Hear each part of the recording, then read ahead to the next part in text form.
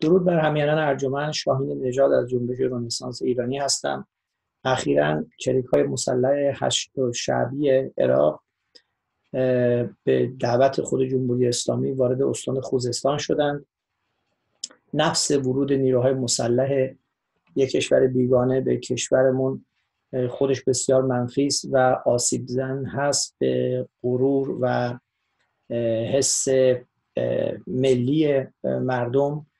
ولی افسون بر این مطلب مطلب بسیار مهمتری که هست اینه که اگر نیروی حالا فرض کنید هشت, و شبی یا هر نیروی دیگری وارد شده بود برای استقرار و یا کمک به مناطق سیل زده یا زلزله زده در استانهای دیگر کشور که بافت برحال استان درصد قابل توجهش بافت عربی نبود اونقدر مطلب حساس و نامطلوب نبود که هشت و شعبی وارد استان خوزستان شده که به هر حال می‌دونیم به خاطر بافت جمعیتیش چالش های بزرگی رو ما در ظرف چند سال گذشته داشتیم که گره می‌خوره با مسئله امنیت ملی.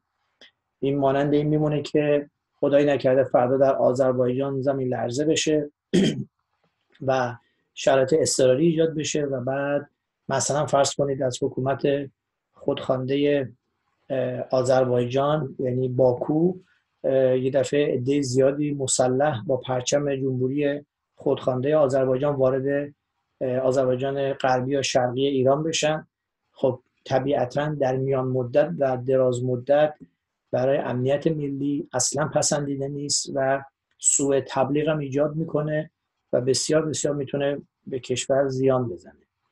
امیدوارم که نیروهای ارتش ایران و همچنین بخشی از نیروهای سپاه که سالمن و وطن پرستن و دلسوزن و بچه های همین آب و خاکم هستن در این مورد اعتراض کنن و خواهان ترک نیروهای هشت شعبی عراق در اولین فرصت ممکن باشن این کشور این ملت با امکاناتی که داره باید از پس یک سیل نسبتا مهار شده بر بیاد. بنابراین امیدوارم که حتی نیروهای سپاه که خیلی هاشون از بچه های همون آب و خاکن و دلسوزن وطن پرستن و پاکن و در فساد رژیم قوطه بر نشدن برخلاف خیلی از فرمانده هاشون که سرسپردگان حکومت هستند اونها هم در این مورد ابراز نارضایتی کنند و جوی ایجاد بکنن که این نیروها از ایران هر چه سریعتر خارج بشه. ما یک کشور داریم به نام ایران یک ملت هستیم به نام ملت ایران. زیر یه پرچم پرچم شیر خورشید.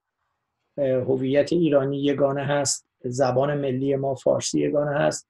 و همین دلیل یک ارتش هم بیشتر نباید داشته باشیم و اون باید ارتشی باشه که در خدمت کشور برای حفظ منافع ملی برای نگهداشت تمامیت ارزی و استقلال کشور باشه. سپاسگزارم از توجهتون.